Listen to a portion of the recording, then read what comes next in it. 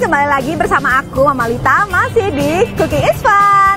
Sekarang kita masih ada di Hotel Mandarin Oriental Jakarta. Ate, Ate udah tahu belum aku mau masak apa lagi abis ini? Eh, kalau Ate tebak sih, Mama pasti masak tempe lagi kan? Karena kalau udah bahan utamanya tempe, hari ini pasti is all about tempe.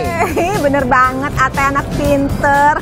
Namanya juga ibu-ibu ya Ate, kalau masak itu sukanya borongan. Ya udah tuh mah langsung aja dimasak keburu bebek Ate dateng nih. Ya cie yang lagi deg-degan, yang lagi eh, menanti-nanti ayangnya datang ya kan. Ya udah kalau gitu kita langsung aja masak tempe pedas manis ala Cooking is Fun. Dan ini dia bahan-bahannya. Di sini ada tempe yang udah dikukus, saus tomat, tepung bumbu serbaguna, saus tiram, bawang bombay, daun bawang, cabai rawit, kaldu jamur, bawang putih, merica bubuk, dan gula pasir. Nah, yang pertama kita bikin dulu adonan tempe crispy-nya. Di sini aku udah punya tempe yang dikukus, habis itu dihancurkan sampai halus. Terus mau aku masukin tepung terigu serbaguna, kaldu jamur, merica bubuk, dan juga sedikit air untuk perekatnya.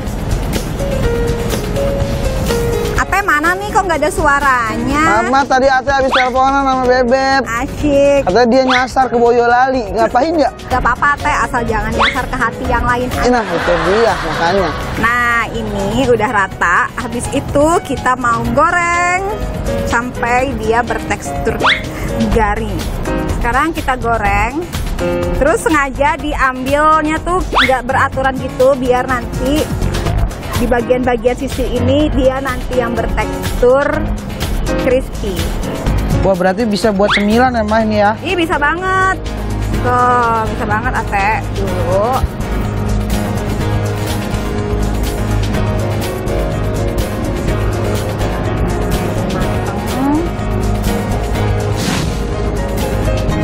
Kok tempenya jadi berubah chicken karage, Mah? Mirip kan Teh? Nah kalau udah mateng, sekarang kita tinggal siapin bahan untuk sausnya.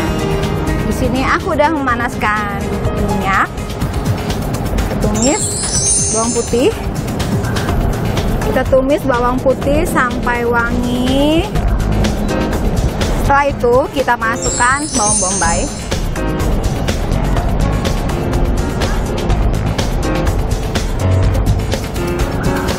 Setelah itu kita tambahkan saus tomat.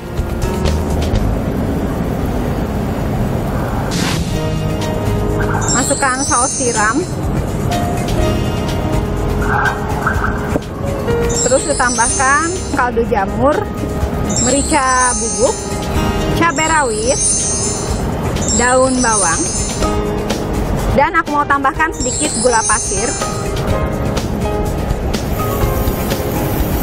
Kita masukkan sedikit air biar semua bumbu-bumbu yang tadi dimasukin larut. Ma gimana ya Ma caranya biar Ate bisa jadian sama gebetan ini? Ate kata orang tua zaman dulu tuh biar kita disayang sama seseorang, kita isi dulu perutnya sampai kenyang dengan makan-makanan enak. Oh gitu. Kalau diisi isi unek-unek nggak boleh Ma? Jangan ntar dia malah kabur. Nah sekarang si sausnya ini tinggal kita siram di atas tempe crispy-nya.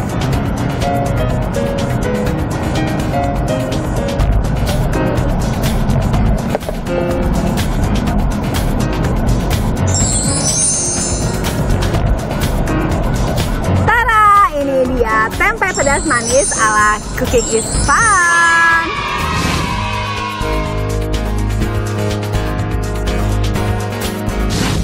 Buat Besti yang baru gabung, aku mau kasih lihat lagi resep menu yang tadi udah kita masak.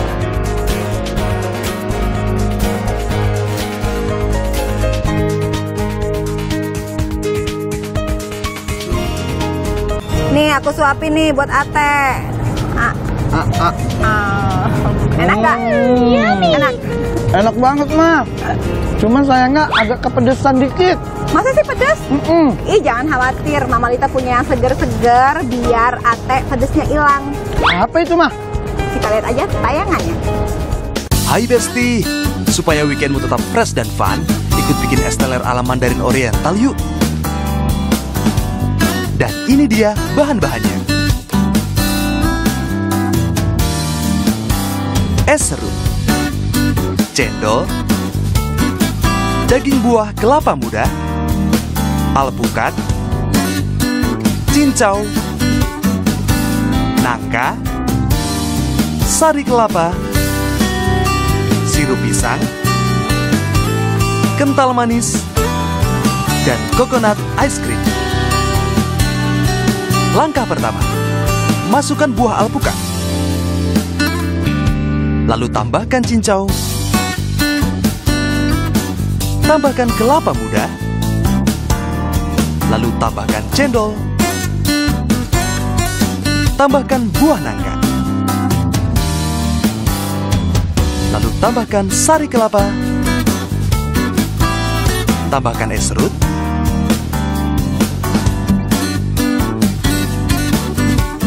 Lalu tuangkan kental manis. Tuangkan juga sirup pisang. Dan yang terakhir, tambahkan coconut ice cream. Eits, jangan lupa dihias ya Besti. Dan ini dia, es teler ala Mandarin Oriental. Wah, segar banget kan Besti? Sesegar wajah Mama Lita. Saksikan aneka resep minuman segar lainnya hanya di Cooking Fun Kompas TV.